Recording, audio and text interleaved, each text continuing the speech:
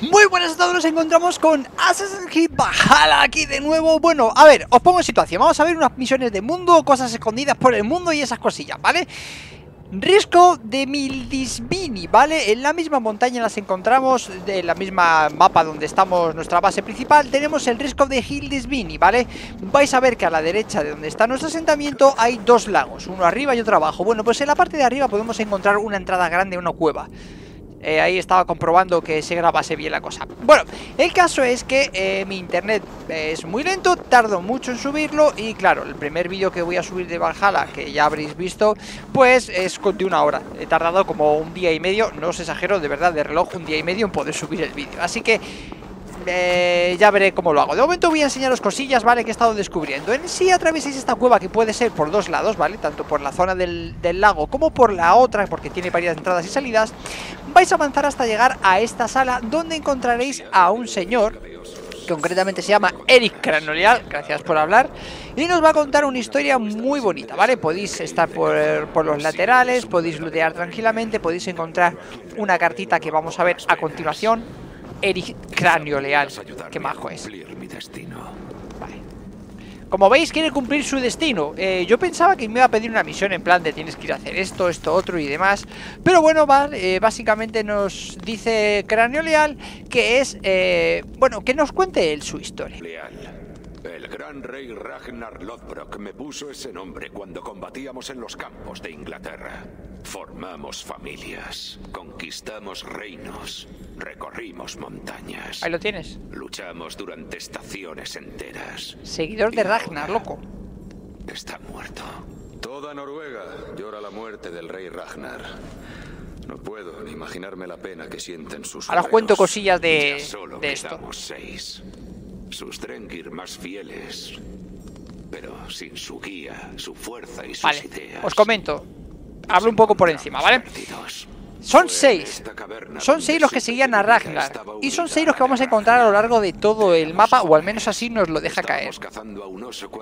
Bueno, dice este que, que básicamente seguía con Ragnar, estuvo con él, luchó con él y básicamente lo que nos cuenta es que quiere, quiere acabar ya con su fin, ¿no? Está aquí recluido y quiere morir y nos pide luchar contra él.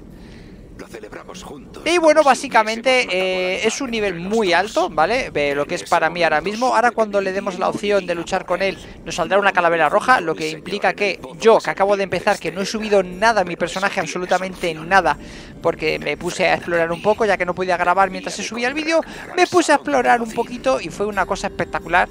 ¿Veis que pone calavera roja? Bueno, bueno, escucha, el combate, espectacular, atentos, Será ¿eh? un honor enfrentarme a un verdadero Drenger. Los Drenger, Quieras. De flipas. Venga, ahí vamos. Por Ragnar. Por Ragnar.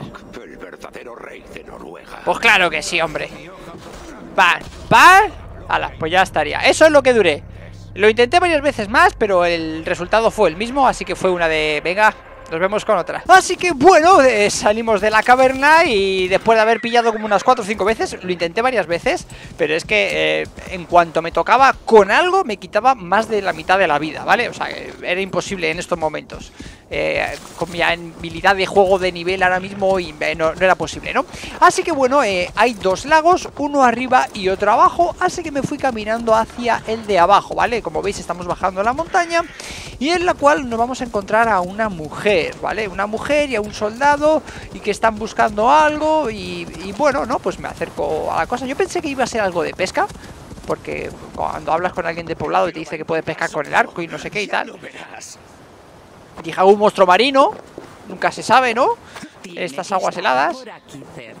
Y bueno, pues básicamente veo por aquí una carta, le echamos un vistazo. Saludos, valiosos campeones, venid a buscar mi peine.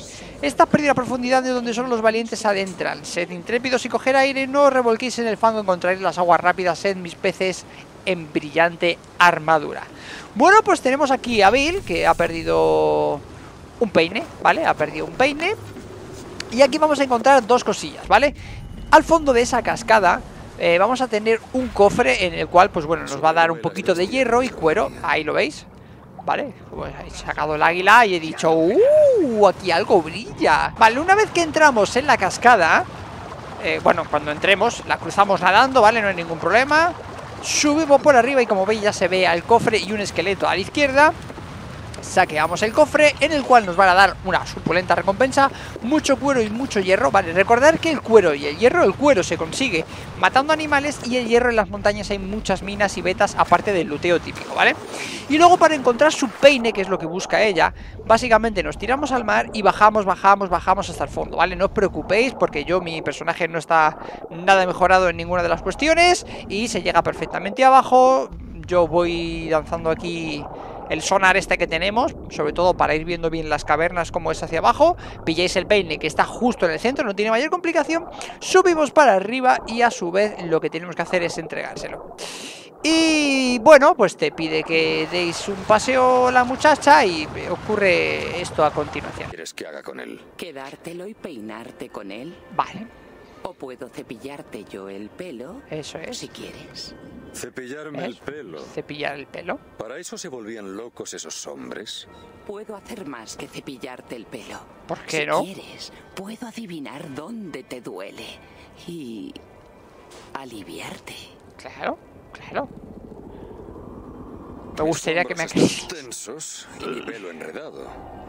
Me vendría bien una mano suave que desenrede esos nudos. Pues déjame. Ella ansiosa de desenredar los nudos. Claro. Mmm, qué delicado tacto. Qué indiscretas palabras. Lo he pasado muy bien, Eivor. Quédate el peine. Gracias, Bill. Has desenredado nudos que no habría podido soltar yo solo. te digo nada. Me gusta esta conversación, ¿no? En la que te dice de todo y no te cuenta nada. Me gusta, me gusta. Si seguimos una de las marcas que tenemos en, el mapa, ¿no? En la montaña, llegaremos a una casa, como veis ahí en una zona de las banderas. Y bueno, aquí tenemos una casa en la cual, pues, aparte de ver un lobo intentar cazarlo así en plan... Venga, viene rápido, a ver si le tiras. Pues no, no le atinas. Eh, ahí estaba practicando con el arco. Bueno, pues vemos que algo brilla y un tesoro dentro. Estos suelen ser el típico... La típica estantería que podemos empujar, pero como veis está todo bloqueado. Por el motivo que sea, no se puede cruzar al otro lado. Así que hay que buscar la manera de entrar. Bueno, pues yo lo he intentado por aquí y ha sido un poco nefasto la cosa porque me he encontrado con un- una pared, ¿vale? Ya sabéis que estos trocillos de madera se pueden romper, pero esta concretamente, pues, era un falso cobijo una falsa entrada, ¿no? Y bueno, podéis entrar tanto por la puerta principal, que está abierta, y por la ventana. Chicos, buscar siempre la puerta principal. Os asombraréis de cuántas están abiertas. Bueno, looteáis un poquito lo que tenéis alrededor y encontramos un papiro en el cual al leerlo nos dice esos necios de Forum me llamaron loco, pero sucumbieron ante la hoja de Catombe. Mis provisiones están escondidas en un lugar seguro. ¡Ja! Deberían atravesar el fuego para arrebatármelas. Dije, vale, hay que prender fuego a esto, pero yo no tengo fuego. Dije, bueno, tengo ahí para una antorcha, ¿no? Y tenemos ahí para una pequeña hoguerita, ¿vale?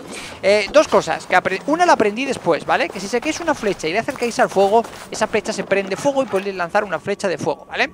Yo como en este momento no sabía eso, pues eh, dije, oye, tengo una antorcha. ¿Por qué no me lío con la antorcha aquí a darle a la pared que lo mismo la quemo y la prendo y esas cosas de fuego, ¿no? Pero escúchame, que, que, que no, que no. Hasta que se me ocurrió la brillante idea. ¡Ay! La lanzamos por arriba. Hago un rebote, se empieza a prender la cosa. Y dije yo, uh, pues lo mismo he triunfado. Y entonces, a la que iba por fuera, eh, empezó a explotar las cosas y fue como una de, ah, qué guay, vale, dejaron esos explosivos en el juego, que hasta el momento yo no lo sabía, pero bueno, suficiente, eh, me sirvió, me sirvió, así que dije, bueno, pues ya tengo vía libre. Entro, luteo el cadáver de la derecha, me prendo fuego, ¿qué haces cuando te prende fuego? Pues te vas a revolcar por la nieve. En este caso empecé a dar vueltas como un loco. Y casi la palmo, pero sobrevivimos, sobrevivimos. Y por suerte que me quemé porque salí para afuera, eh, volvió a hacer una explosión enorme que si me pilla dentro me hubiese reventado. Así que bien chamuscadito y calentito, vuelvo a entrar dentro, cojo la antorcha, digo, por favor, pare ya las explosiones y saltamos al otro lado para coger el cofre. ¿Y cuál será el tesoro? Bueno, pues el tesoro es un lingote de carbono que ya sabéis que son súper necesarios para ampliar los niveles de las armas, armaduras, para que hagan mucho más daño, o sea que es un botín muy precioso y salgo de aquí que se está quemando todo. Así que espero que os haya gustado, de momento os traigo vídeos eh, explorando un poco el mundo, ahí exactamente está la casa, yo me voy a explorar más cosas porque se vienen batallitas interesantes. Así que espero que os haya gustado, no lo hago más largo porque luego me tarda mil años en subir y nos vemos con más. Adiós, chao, chao.